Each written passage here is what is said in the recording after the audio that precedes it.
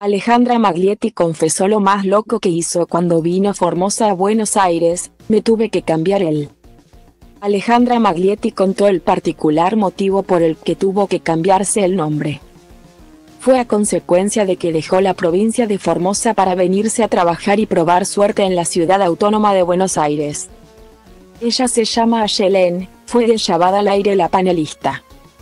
Maglietti vos sos tan querida en Formosa como Marcos, ganador de Gran Hermano, en Salta. Le consultó Gabriel Cartaña, el psicólogo panelista que estaba sentado al lado de Alejandra. Y ella, con honestidad brutal respondió, no. De ninguna manera me reciben como lo recibieron a él. Me saludan con buena onda pero no me reciben así, dijo la rubia. En ese momento, fue Edith otra de las panelistas del programa de las noches del 9.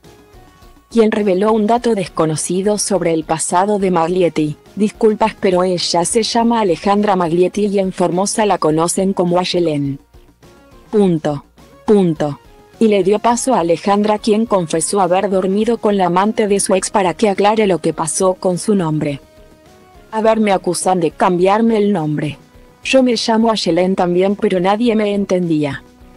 Me vine a vivir a Buenos Aires y Lo siento. Ustedes, los porteños, se creen que si no digo yo. No me entienden. Entonces, yo tuve que cambiar mi nombre. Decir que me llamo Alejandra para que me entiendan. Como Marcos, cuando vine de Formosa era una chica tranquila también, aseguró Maglietti. Yo era tranquila y acá todos me fueron, hace el gesto de empujando. Coma dijo Alejandra al aire del programa liderado por Beto Casella. Nunca fuiste tranquila, definió Hermida, haciendo con sus manos una gesticulación asociada a la negación.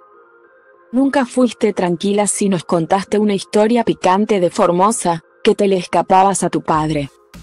Le recordó Cartañá a su compañera, quien está nuevamente en pareja hace varios meses. Que el pibe, en referencia a Marcos, sea tranquilo no implica que no haga otras cosas. Punto. Como aportó Alejandra. Y fue mi Ventura, también integrante del equipo nocturno que sale al aire quien quiso saber, o sea. Vos también hacías otras cosas. Y sin vueltas, Maglietti respondió, sí.